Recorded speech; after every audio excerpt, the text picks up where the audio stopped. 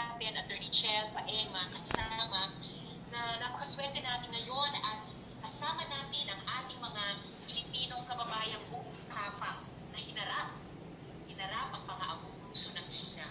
Una po, si Cap Noli Ebora, na kung matatandaan po natin, ay hindi umatras noong pinapaalis sila ng isang Chinese warship malapit sa Scarborough Shoal. I-play po natin ang video ngayon ng pagtindig ni Cap Noli para sa Pilipinas. Uh, please add your cost to 0 L 0 degree and uh, sailing for 10 nautical miles and then you can Why should I alter to my course? Uh, I'm, we are innocent passage. Mahal talaga siya doon, sir. Ha? Harang-harangan talaga yung pro natin. Sige. Oo, harangan niya talaga. Oh. Chinese warship. May I know why I should alter my course 10 miles from Scarborough Shoal? Is there uh, Chinese territory? Senadora Risa Ontiveros at sa mga kasamahan ko po dito na guest sa atin pong online rally ipaglaban ang Pinas at sa mga nanonood po sa kasalukuyan. Nais ko lang pong ah, ipabatid na napanood niyo po na po yung video siguro pero may tatlo po akong kas- ah, ah, kasagutan na hindi ko nasagot noon na komento ng pamahalaan. Ang una po ay yung sinabi nila, ah, bakit daw po yung mamang yan ay dumaan sa south ng Scarborough Shoal at hindi sa north. Dahil mas maigsi daw po yung ah, north kaysa south. So sasabihin ko din lang po to sa mamang yan na kaya po ako dumaan ay kasi po tayo ay alam kong may tayo may freedom of navigation. Meron din po tayo dyan na nanalo tayo sa arbitrary ruling 2016. At bilang po kapitan ng barko, ako po ay may discretion, may overriding authority po ako na pumili ng daan kung saan po safe ang aking barko at lalo na yung tripulante nito.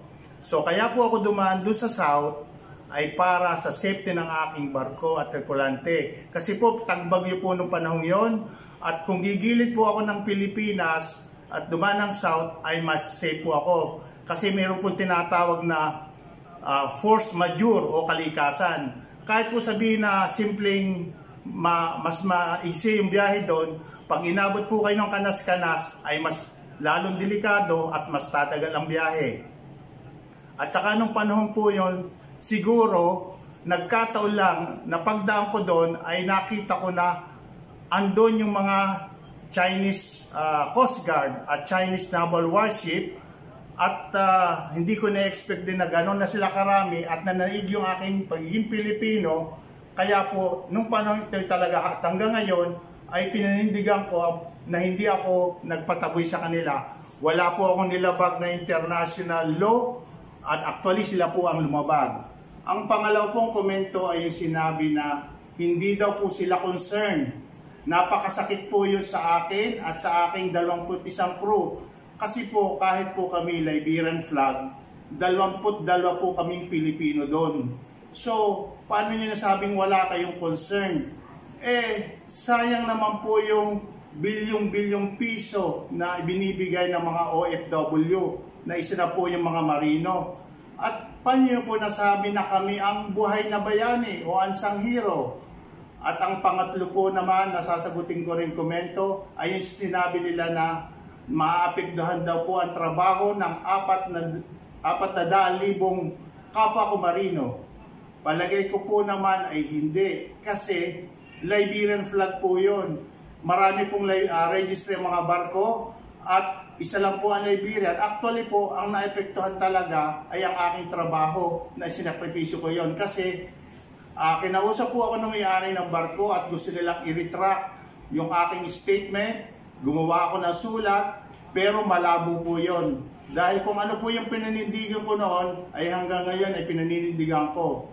At sa panghuli po, ay marami po akong nag, uh, nagpapasalamat sa inyo lahat, sa inyong suporta.